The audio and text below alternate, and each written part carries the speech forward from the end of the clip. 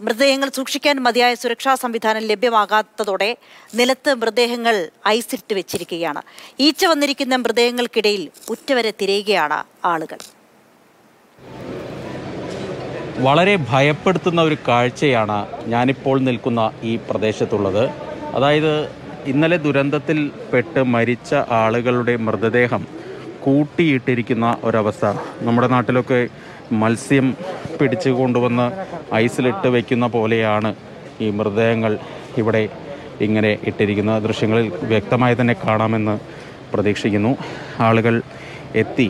അത് സ്വന്തം ആളുകൾ ആൾക്ക് സ്വന്തക്കാരാണോ എന്ന് തിരയുന്നുമുണ്ട്. നിലവിലിവിടെ ഏതാണ്ട് പത്തോളം മൃതദേഹങ്ങൾ ഇങ്ങനെ കൂട്ടിയിട്ടിരിക്കുകയാണ്.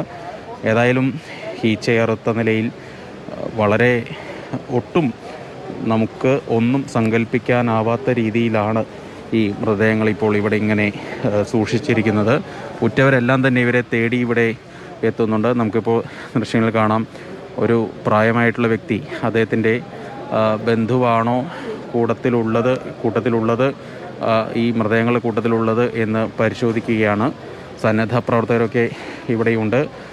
ഏതായാലും അധികമൊന്നും കണ്ടു നിൽക്കാനാവാത്ത തരത്തിൽ തന്നെയാണ് ഈ കാഴ്ചകൾ.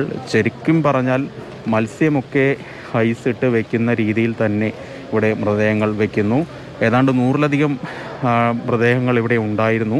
അത് പിന്നീട് ഭുവനേശ്വർ ലേക്ക് ഭുവനേശ്വർ എയിംസിലേക്ക് മാറ്റുകയാണ് ചെയ്തത്. ഏതായാലും ആളുകൾ ഇപ്പോഴും ഇവിടേക്ക് എത്തിക്കൊണ്ടിരിക്കുന്നുണ്ട്. ഇപ്പോൾ ഇവിടെ വലിയൊരു ഡിസ്പ്ലേ വെച്ചിട്ടുണ്ട്. ഇതിൽ ആളുകളുടെ ഈ കിട്ടിയ മൃതദേഹങ്ങളുടെ ചിത്രങ്ങൾ ഇവിടെ കാണിക്കുന്നു. അതിനുശേഷം ആളുകൾ ഇവിടെ ഡീറ്റെയിൽസ് എല്ലാം അതായത് കൊണ്ടുവന്ന ഡീറ്റെയിൽസ് പ്രകാരമുള്ള ആളാണോ ഇവിടെ ഉള്ളത് എന്ന് പരിശോധിക്കുന്നു. ഏതായാലും നടുക്കുന്ന ഒരു കാഴ്ച പേടിപ്പെടുത്തുന്ന ഒരു കാഴ്ച എന്ന് തന്നെ വേണം ഇതിനെ വിശേഷിപ്പിക്കാൻ.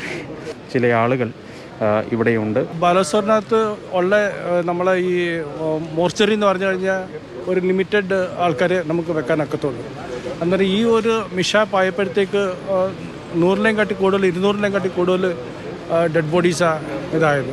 അതുകൊണ്ട് ഇത്രയും വല്ല സ്ഥലം കാണാൻ വേണ്ടി വലിയ പാടായിരുന്നു. അതുകൊണ്ടാണ് ഈ ഒരു ഔട്ട്സ്കട്ട്സിനകത്ത് ഇതൊരു കൺവെൻഷൻ സെന്ററാണ് ഇവിടെ വലിയ വലിയ എക്സിബിഷൻസ് എല്ലാം നടക്കുന്ന സ്ഥലമാണ്. ഇവിടെ ഒരു മേക്ക് ഷിഫ്റ്റ് ആയിട്ട് ഒരു ടെമ്പററി ആയിട്ട് ബോഡീസിനെല്ലാം വെക്കാൻ വേണ്ടി ഒരു ഫ്രീസർ സംവിധാനമൊന്നും ഇല്ലല്ലോ ഇവിടെ. ഫ്രീസർ സംവിധാനം എന്ന് പറഞ്ഞു കഴിഞ്ഞാൽ നമുക്ക് കുറച്ച് പേർക്ക് വേണ്ടിയേ ഇത് ഉള്ളു. ഇത്രയും ആൾക്കാർക്ക് വേണ്ടിയുള്ള ഫ്രീസർ സംവിധാനം ഇവിടെ ഇല്ല.